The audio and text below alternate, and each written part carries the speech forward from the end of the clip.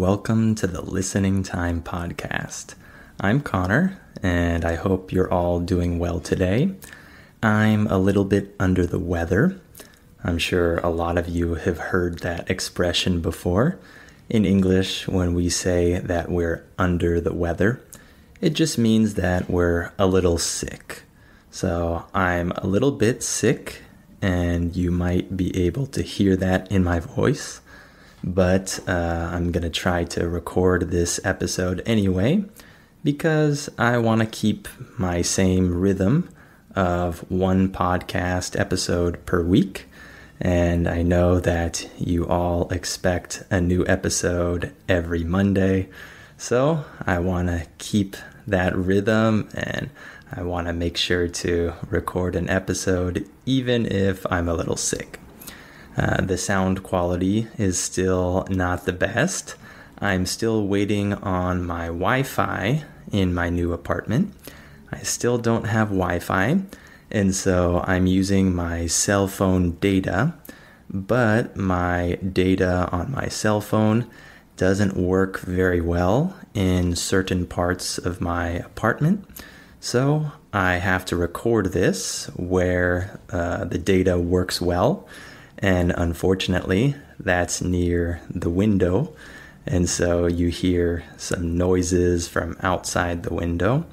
I apologize for that. I hope that in the next episode, uh, I'll have better sound quality because hopefully I'll have Wi Fi and I'll be able to record uh, in a part of my apartment that isn't so noisy. But thanks for bearing with me, and I hope that you appreciate that I'm still trying to record episodes, even if the sound quality isn't the best, and even if I'm a little bit sick. I still want to record episodes. So, in today's episode, we're going to talk about renting an apartment. This is a topic that's on my mind because I just recently rented a new apartment. And so I thought it would be interesting to talk a little bit about that. To be honest, I've never rented an apartment in the US as an adult, so I don't have much experience with that. So, most of what I'm going to be talking about is about renting an apartment in Mexico. And before we get started, remember that you have access to the transcript for this episode in the episode notes. So just go down to the episode notes and click on that link if you need the transcript. And of course, remember to sign up for our $1 listening practice seminars and share this podcast with anyone who might find it useful. All right, let's get started. Are your ears ready?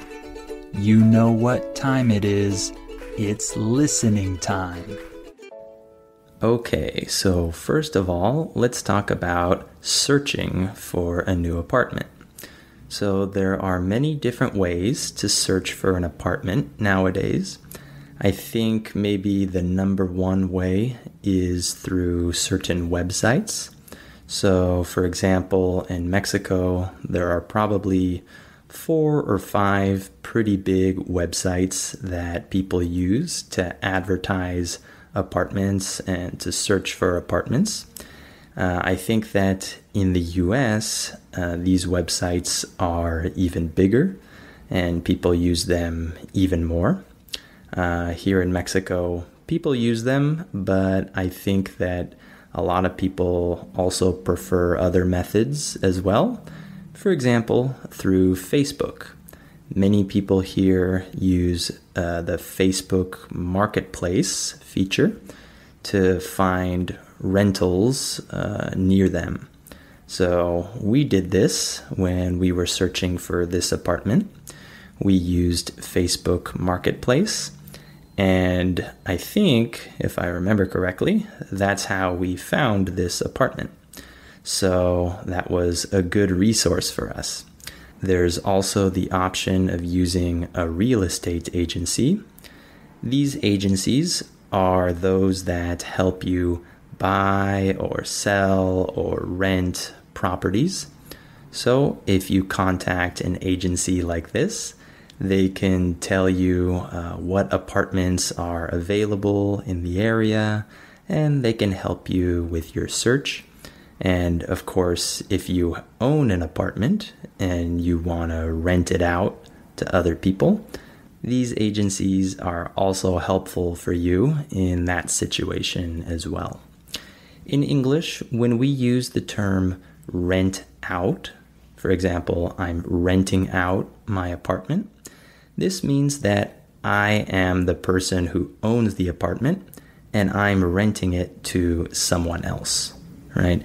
The people that I rent it to are called the tenants. So the tenant is the person who rents the apartment and I am the owner. So if we say rent out, we're referring to uh, renting the apartment to someone else. If we just say the word rent, it usually means that you're the one who is renting from an owner. So, uh, when you're searching for places, of course, uh, you can use real estate agencies, Facebook, websites, and also you can use the newspaper. I know many people nowadays don't use or don't read physical newspapers anymore, but uh, actually, in places like Mexico, you can still use newspapers to find apartments for rent. Uh, that's actually how my wife and I found our first apartment in Mexico. Uh, it was through a newspaper listing. In English, when we use the word listing, we're referring to some type of advertisement for an apartment. So if we say an apartment listing, we're talking about an advertisement for an apartment in a newspaper or online or on Facebook, etc. So you can find apartment listings in the newspaper. So that's another option uh, that you have when you're searching for an apartment. All right, now let's talk about prices. So I'll just talk a little bit about uh, some of the price differences that I've seen in apartments in the cities that I've lived in. So in Guadalajara, Mexico, where I spent the last uh, four or five years or so, uh, apartments are very cheap compared to the US. For example, if you pay about $300 per month, you can get a decent apartment in a decent area. And this apartment will probably have two or even three bedrooms, and you probably have a good amount of space. If you want to pay more, for example, if you want to pay like 700 or $800 per month, you can live in a very good apartment you can live in a luxury apartment in some areas of the city. Uh, and if you want to uh, live in the best apartments in the city, you probably pay about a thousand, a thousand two hundred, something like that, and you can live really well in the city of Guadalajara. So I miss those prices because now I live in Tijuana, and here the prices are much higher. Uh, I should say that if you live more on the outside of the city in Tijuana, the prices aren't that high. They're more comparable to other Mexican cities. But if you want to live in a good location, in a really uh, centric location, you have to pay a lot. So, for example, if you want an apartment that has three bedrooms and two bathrooms, and you want to live in a good area of the city, you probably uh, have to pay at least 1,300, 1,400 on average. There are some places that are cheaper than that, if you're fortunate enough to find a place like this, you should definitely take advantage of that and rent that place because there aren't many places uh, that are cheaper than that price uh, in the good areas. So I'm fortunate because we found this apartment, which is uh, much cheaper than a lot of the other apartments that are the same size in the area. And uh, this apartment is well located and it has a good amount of space, and so I'm happy.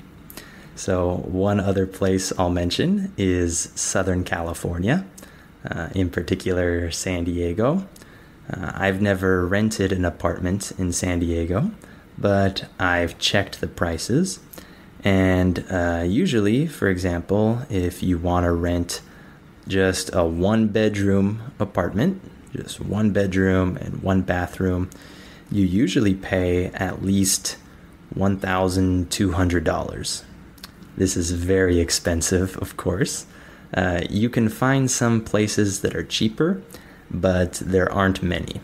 Normally, one bedroom, one bathroom apartments are at least uh, $1,200 in the decent areas of the city. Of course, if you want to live in one of the bad areas of the city, I'm sure you can find uh, places that are cheaper than this, but I'm talking in general about uh, the decent places of the city. In English, when we use the word decent, we're just saying uh, good or good enough or pretty good, right? If I say he's a decent golfer, I'm saying that he's a pretty good golfer. He's not amazing, but he's pretty good. So uh, in San Diego, prices are very high. Uh, if you want to uh, rent a three bedroom, two bathroom apartment, it will probably cost you about $2,000, I'm sure. Uh, it's very expensive. So, those are some of the prices uh, that I've seen in different cities that I've lived in. Now, let's talk about furnished versus unfurnished apartments. So, when an apartment is furnished, this just means that it has furniture. It has a couch, it has beds, tables, etc. Right? And if an apartment is unfurnished, this means that it doesn't have furniture. Uh, these words uh, have different meanings in different countries because in the US, for example, when an apartment is unfurnished, it almost always still has a refrigerator, an oven, a stove, etc. Those basic appliances. In English, when we use the word appliance in this situation, we're talking about those types of machines, right? Fridge, microwave, stove, etc. So in the US, unfurnished apartments still have these basic appliances. But for example, in Mexico, an unfurnished apartment usually doesn't have any appliances. There's no refrigerator, there's no stove, there's no oven, nothing. So when you rent an apartment like this, it's completely empty. So this is a very different situation because you have to buy everything when you move into an unfurnished apartment in Mexico. So there's a lot more work to do. This apartment that I'm renting uh, was unfurnished, but it actually had a stove. I was a little bit surprised because, like I said, usually there isn't even a stove. So, uh, one other thing that's very important, uh, at least in Mexico, when looking for an apartment, is uh, which floor the apartment is on. So, most of the places that we were looking at were not on the first floor. They were on the second floor, the third floor, the fourth floor. And you might be thinking, well, that isn't really a problem, right? Well, in Mexico, yes, because many of the apartment buildings in Mexico do not have elevators. I would say that most of them don't have elevators. So, for example, in my apartment building, I think there are like five, six, seven floors. I don't remember exactly. But there is no elevator.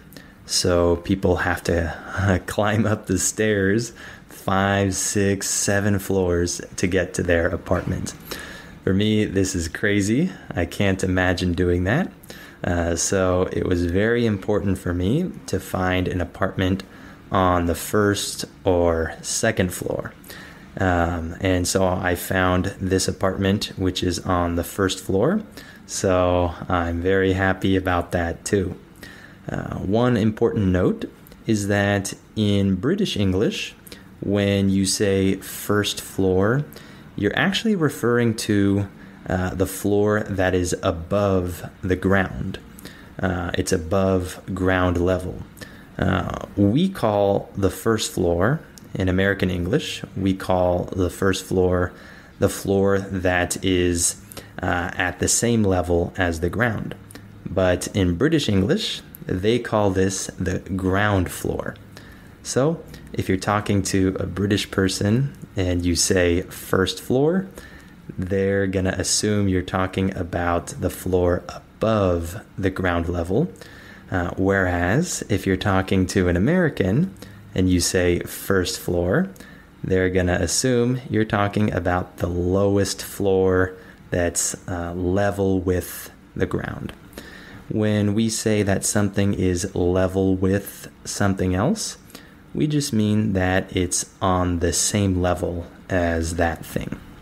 So for me, it was very important to find an apartment on the first or second floor because uh, I knew that it would make our lives much easier. Uh, another thing when it comes to moving is having to move all of your stuff, all of your furniture, all the appliances and getting all of that stuff inside your apartment. This is also a headache. In English, when we say that something is a headache, we're saying that something is very annoying, it's difficult, hard, uh, like that. So it can be a headache to get all of your stuff into your new apartment, uh, especially if you have to buy new stuff and you have to get it delivered to your apartment because uh, the people who deliver it uh, come at different times uh, in the day, and so you don't know when they're going to come, and so you have to be home all day, and it can be a little bit complicated. So that was a little bit of a headache for us uh, these last couple weeks but we have almost everything that we need now. Uh, and one other thing that's very important when it comes to renting an apartment is whether or not you're dealing with the owner directly. Uh, when I say dealing with, to deal with someone, I just mean that you are uh, negotiating and talking directly to the owner. So, uh, in Mexico, for example, um, if you deal directly with the owner, uh, it's usually much easier to rent the apartment. They have fewer requirements and the process is smoother. In English, when we say that uh, a process or something is smooth, we mean that there aren't many complications. It's easy, it's smooth. So, when you deal directly with the owner of an apartment, the process is much smoother. However, when you deal with a real estate agency, uh, the process is always harder and it takes longer and there are more requirements and it's not fun. Uh, we had to deal with real estate agencies here, uh, and it was a nightmare. In English, when we say that something is a nightmare, we mean that something is horrible. So it was a nightmare uh, dealing with real estate agencies here because uh, a lot of the agents aren't very responsible. Uh, a lot of the agents uh, don't call you back. They take a long time to do things, and it's very annoying. And uh, of course, they have a lot of strict requirements. And so uh, it's harder in general to rent an apartment or to, to start renting an apartment uh, when you have to deal with agents like that and uh, they have a lot of strict requirements. Um, and I think one of the reasons for that is because here in Mexico, uh, a lot of people are irresponsible when it comes to paying their rent or paying their rent on time. So it's very normal here for people to uh, have to uh, ask the owner uh, for an extension on their rent. Uh, they have to ask the owner to uh, give them an extra week or something like that to pay the rent because they don't have the money yet. So, of course, this can also be a headache for apartment owners. So, uh, that's uh, another reason why they have strict requirements when it comes to renting apartments because they want to make sure that the tenant is able to pay the rent on time and has a steady income, etc. In English, when we say a steady income, uh, we just mean that you make money regularly, right? You make money every month, you have a salary that will allow you to pay your bills. All right, well, I'll stop there for today. I hope this episode was interesting for you, and I hope it was good practice for your listening.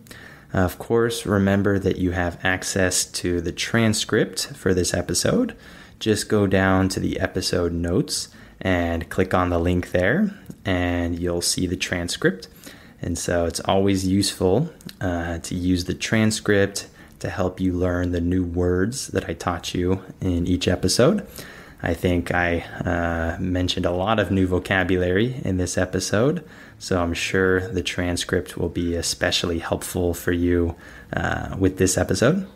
So, uh, again, uh, please share this podcast with anyone who might find it useful and help it grow. I really appreciate all your support and uh, I really appreciate the fact that uh, you guys are tuning in every week and listening to all these episodes. I really hope that this podcast is helping you improve your listening. All right, well, thank you for listening to this episode, and I hope you'll come back for episode 37 of the Listening Time podcast.